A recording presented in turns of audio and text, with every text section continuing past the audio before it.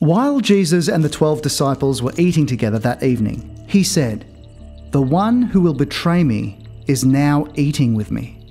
This made the disciples sad, and one after another they said to Jesus, You surely don't mean me.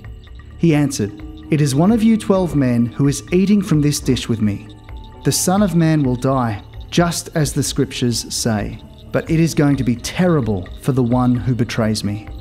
That man would be better off if he had never been born. During the meal, Jesus took some bread in his hands. He blessed the bread and broke it.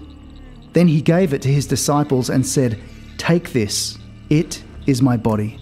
Jesus picked up a cup of wine and gave thanks to God. He gave it to his disciples, and they all drank some. Then he said, This is my blood, which is poured out for many people, and with it God makes his agreement. From now on, I will not drink any wine until I drink new wine in God's kingdom. Then they sang a hymn and went out to the Mount of Olives. Jesus said to his disciples, All of you will reject me, as the scriptures say.